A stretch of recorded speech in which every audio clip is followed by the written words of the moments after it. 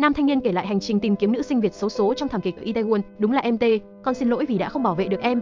14 giờ 15 phút ngày 3 tháng 11, THITH, ể nữ sinh Đinh Thị T đã được đưa về quê nhà Bình Định. Trong vòng tay ba mẹ, người thân và bà con làng xóm, cô gái bé nhỏ ấy sẽ không còn cô đơn nữa. Trong đê ám tê an cô nữ sinh xấu số, có chàng trai lặng lẽ ngồi nơi góc sân, ánh mắt luôn hướng về phía di ảnh T. Chàng trai tên BVM, người đã thay mặt gia đình trong đám tê an tê tại Hàn Quốc.